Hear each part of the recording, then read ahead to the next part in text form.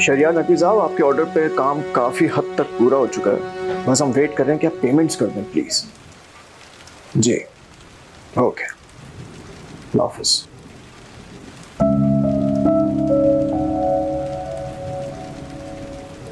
क्या हुआ? सर पकड़ के क्यों बैठ गया तुम? फिर क्या करूँ भाई से अभी ऑफ़िस के मामला ठीक हुए तो घर के हालात खराब हो रहे हैं।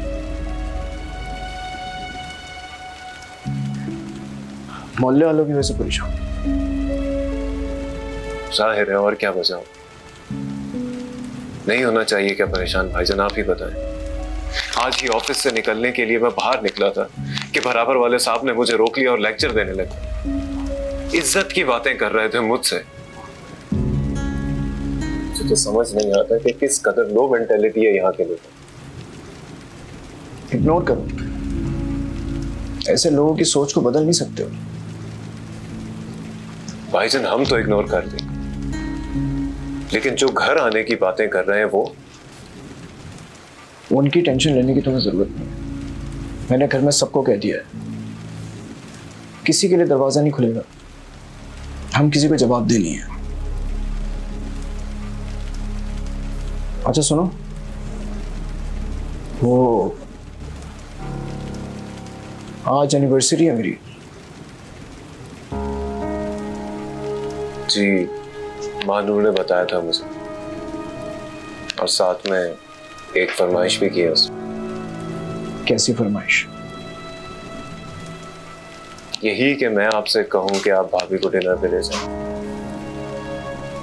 नहीं अबरार ऐसा हो नहीं सकता। पॉसिबल नहीं है। मेरा दिल ही नहीं मानता। क्या करूँ? आज सुबह इस तरह की फजूल फरमाइश उसने भी मुझसे की साफ़ मना कर दिया ठीक है भाई जी। मैं आपको फोर्स नहीं करूँगा इसके। ये मामले तो वैसे भी दिल के होते हैं।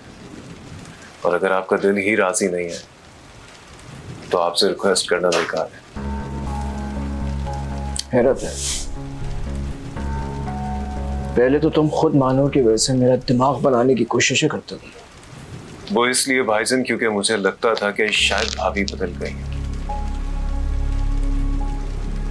लेकिन अब मुझे अंदाज़ा हो रहा है, चाहे कुछ भी हो जाए, उनकी फितरत नहीं बदलने वाली।